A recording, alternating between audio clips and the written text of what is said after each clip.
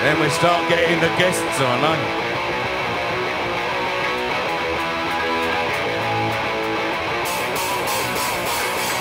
I used to be such a jovial chap. I could run around and grab just like that.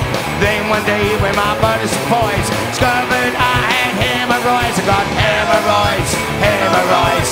Now I don't feel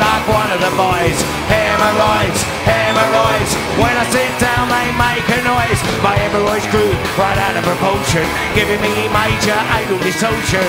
They grew down round my feet, tripped me up when I was in the street. I got hemorrhoids, hemorrhoids. Now I don't feel like one of the boys. Hemorrhoids, hemorrhoids. When I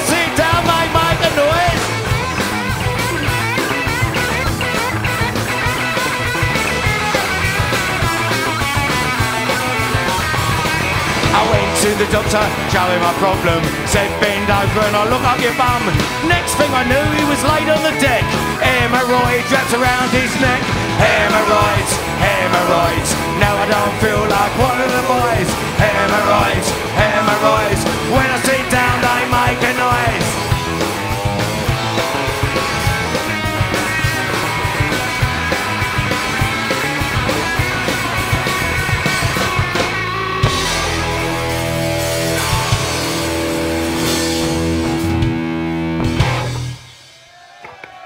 Thank you.